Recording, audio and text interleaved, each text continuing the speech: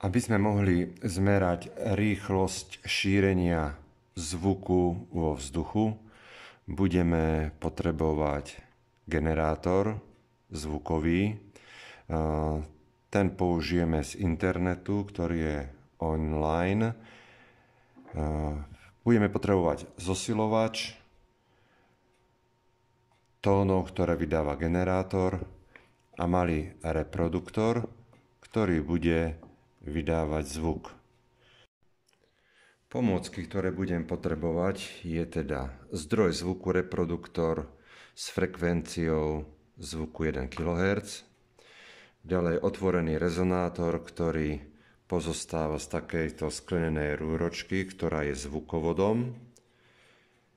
Vo vnútri sa nachádza tenšia rúročka sklenená, na konci ktorej sa nachádza piest.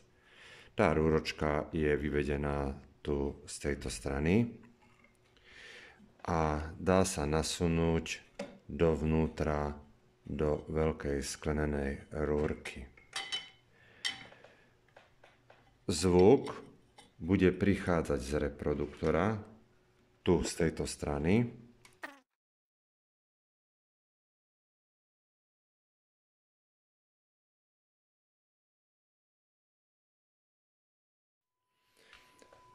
Reproduktor vydáva tón, zvuk a zvuk sa šíri vo zvukovode, v tomto sklenenom, až do momentu, pokiaľ nenarazí na piest.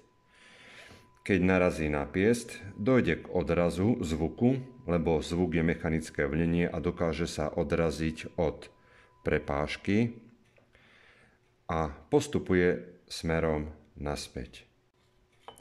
Na koniec piestu je možné nasunúť takúto hadičku a druhý koniec priložiť k uchu a počúvať hlasitosť vo vnútri zvukovodu.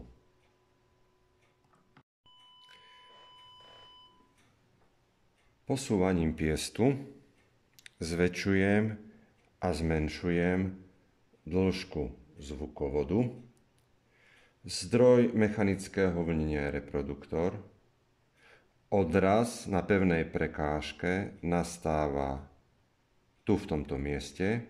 V momente, keď sa zvuk odrazí naspäť, prechádzajú tlakové zmeny jedna z jednej strany od reproduktora a druhé tlakové zmeny, ktoré nastali odrazom na tomto pieste.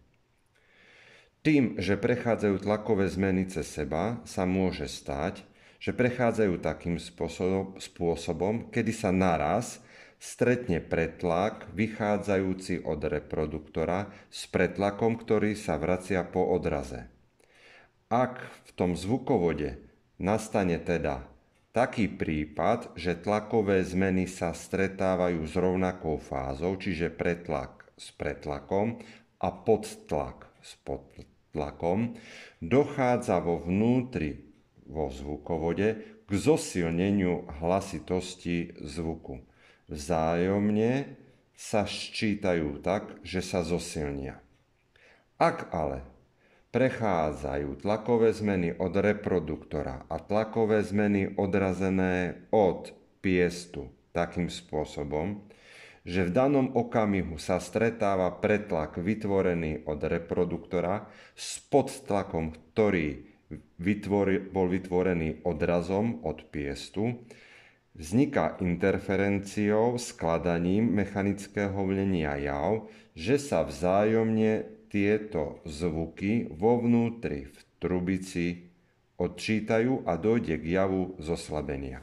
To znamená, ak si toto priložím k uchu, a budem pohybovať piestom, budú existovať pozície, kedy bude dochádzať k javu zosilnenia a pozície, kedy bude dochádzať k javu zoslabenia. Tieto pozície je možné odčítať na meradle, ktoré je umiestnené pod spodkom zvukovodu. Skúsime. Priložím k mikrofónu zariadenia.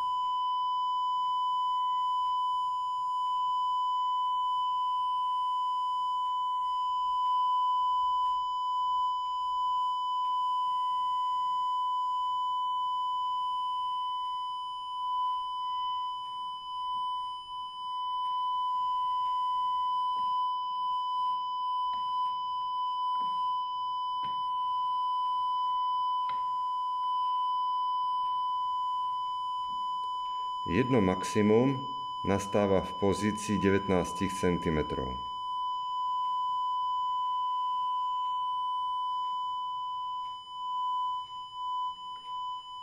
Druhé maximum v pozícii 37 cm.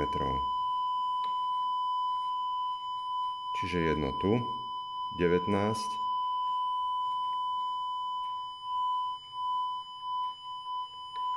druhé v pozícii 37. Keďže zvuk musí prejsť tam a naspäť, celková vlnová dĺžka je dvojnásobkom tejto vzdialenosti. Ak je vo fáze a opätovne vo fáze, Vlnová dĺžka je jedného mechanického vlnenia a druhého mechanického vlnenia posunutá práve o jednu vlnovú dĺžku. Znamená to, ak odmeriame túto vzdialenosť, zistili sme pol vlnovej dĺžky, lambda pol. Ak je teda známa frekvencia 1 kHz, známa vlnová dĺžka, je možné pomocou vzťahu V sa rovná lambda lomeno T alebo lambda krát F vypočítať rýchlosť šírenia zvuku vo vzduchu. Experiment zopakujeme pri zmenenej frekvencii a to pri frekvencii 2 kHz.